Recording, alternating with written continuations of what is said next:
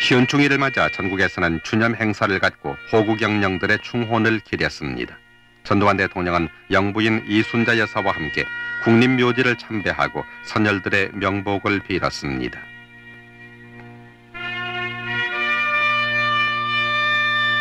대통령 내외부는 고 이승만 대통령과 고 박정희 대통령 묘소를 차례로 참배했으며 버마 아웅산 폭발 사건으로 숨진 순국 외교 사절 묘역 등을 찾아 분양했습니다.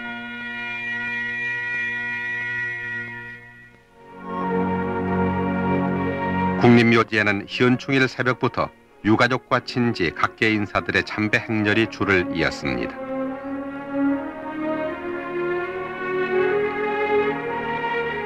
다른 민족에게 빼앗긴 국권을 되찾기 위해 그리고 공산 침략으로부터 민족사와 자유를 지키기 위해 선열들은 기꺼이 한 몸을 바쳤습니다.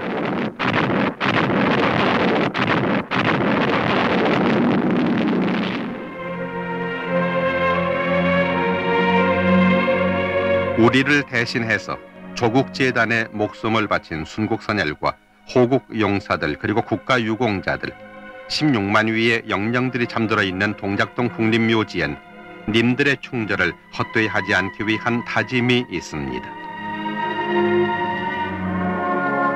한편 서울 국립극장에서 있은 제29회 현충일 추념식에서 전두환 대통령은 진희종 국무총리가 대신 읽은 추념사를 통해 지금 우리 세대는 조국의 영광과 시대적 사명완수를 위해 아낌없이 땀과 정성을 쏟아야 할 시점에 있다고 말하고 국민 각자가 투철한 시대 정신과 국가관을 확립하고 참다운 애국심을 발휘할 것을 당부했습니다.